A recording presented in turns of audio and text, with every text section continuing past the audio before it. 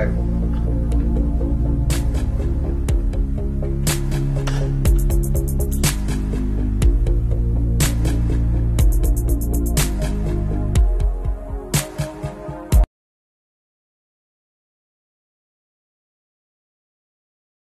why are you smiling, Emily?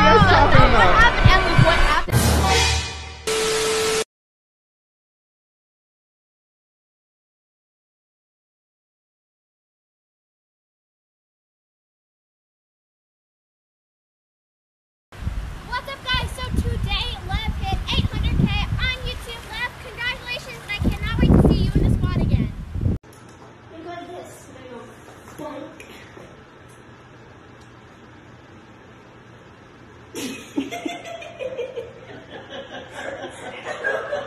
job, Nicholas.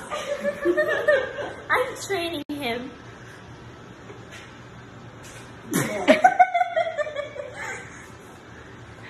Good job.